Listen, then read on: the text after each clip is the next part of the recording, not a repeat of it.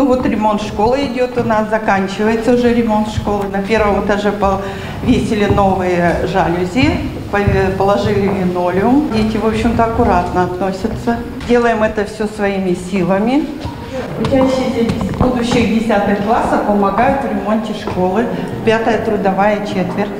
Школа номер 11 практически готова к началу нового учебного года.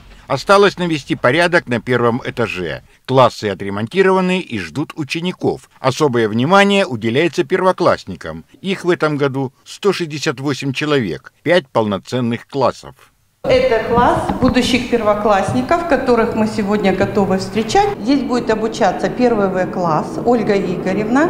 Мы ее вам представим сегодня. Она очень волнуется и тоже готовится к приему своих детей. Первый раз в первый класс вместе со своими учениками.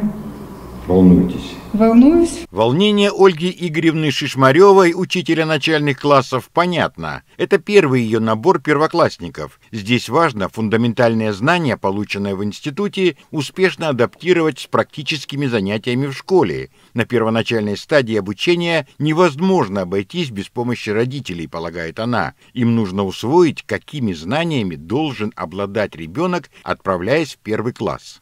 Общепринято считать, что ребенок должен уметь читать, писать, считать.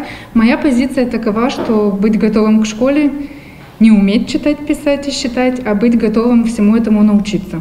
Переучивать часто сложнее, чем учить заново.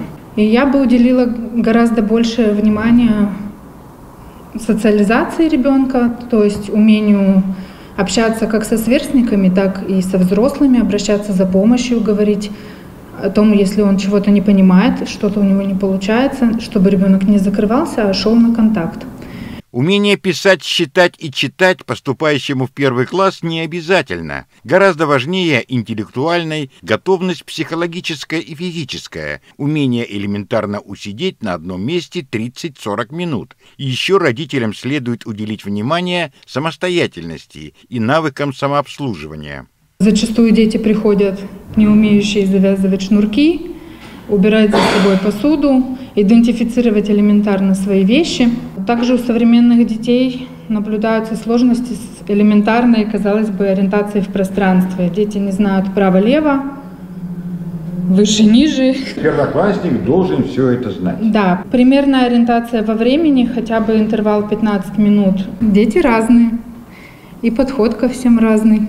Первый класс предполагает чередование деятельности, непосредственно учебной и физической активности, так называемые физминутки или динамические паузы. У многих родителей подготовка к школе начинается со школьных принадлежностей. Так легче приучить ребенка к порядку. Что должно лежать у первоклассника в ранце в первый день занятий? В ранце 1 сентября должен быть пенал – в пенале шариковые ручки. Я своим родителям прям подчеркнула шариковые ручки, потому что современные дети и родители очень любят ручки «пиши, стирай». И мы сталкиваемся с проблемами разного рода в связи с этим.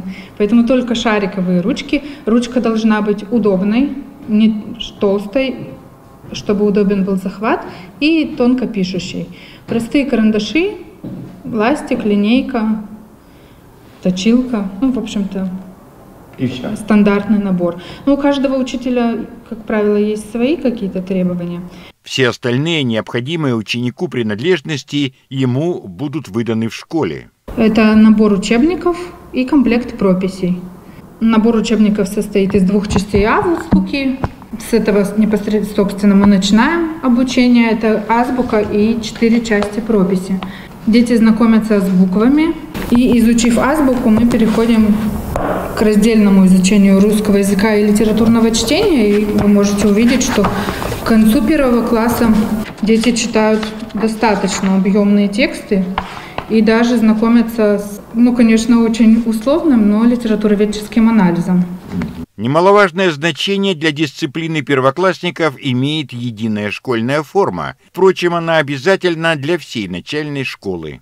С 1 сентября все идут дети, и прописано Министерством образования Российской Федерации о том, что девочки имеют платья коричневого, синего цвета, черного, фартуки белые и темные, мальчики имеют светлый верх, темный низ и жилетки. Вопрос со школьным питанием давно решен и не требует обсуждений. Школьное питание по приказу тоже Министерства образования у нас бесплатное. Первые, четвертые классы получают завтраки. Дети-инвалиды получают завтрак и обед.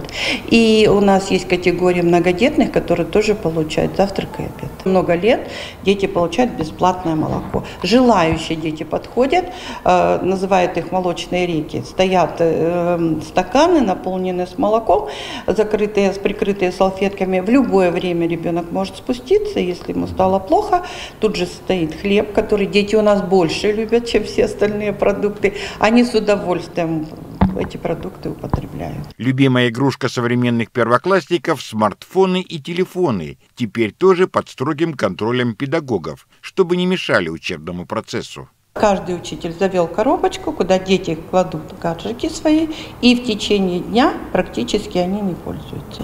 Даже на перемене? Ну, даже обязательно. Вы что, на перемене он должен отдыхать. У него 15 минут, ему надо восстановиться, приготовиться к следующему уроку, а у нас три раза в неделю физкультура, надо переодеться, а у нас кроме этого есть английский язык, куда надо с одного этажа на второй перейти.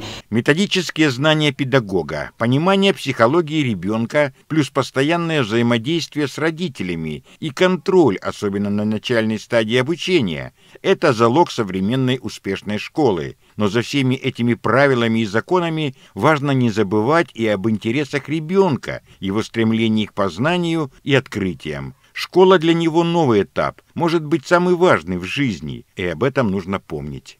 Александр Наточев, Денис Надельный, Даниил Коровченко, Городские новости, телеканал «Лента».